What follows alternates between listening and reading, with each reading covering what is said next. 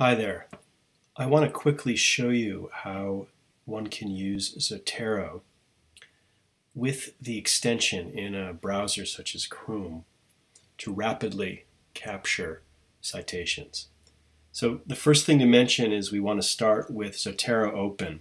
And over here in the library section, we want to carefully select the um, library or the collection that we want the downloads and the citations to appear in. So let's just click on, on factory history there.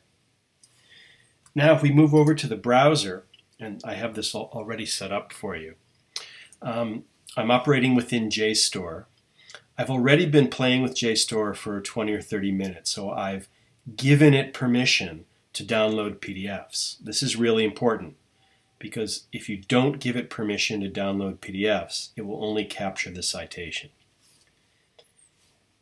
here up in the um, toolbar of my Chrome browser, this little icon means that uh, Zotero is embedded and working.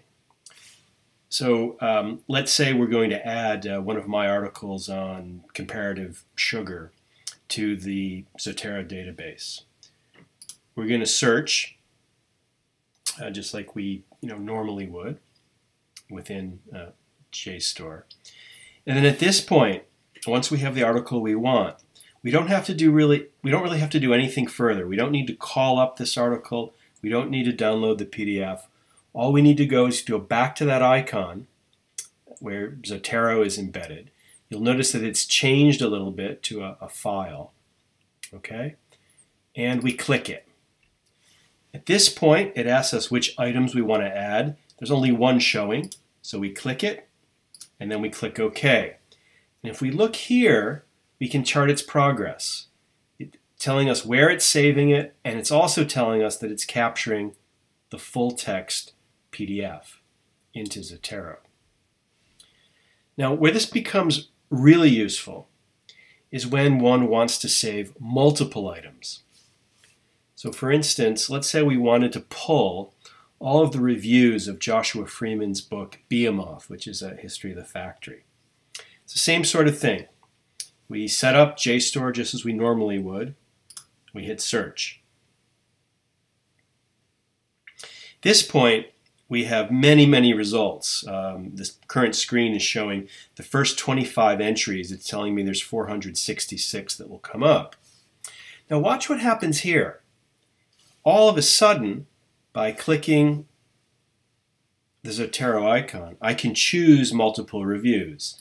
And let's just, for the sake of demonstration, choose the first five and maybe one down here. Okay, obviously you'd want to scroll through and see which ones you're getting. Now when you hit OK,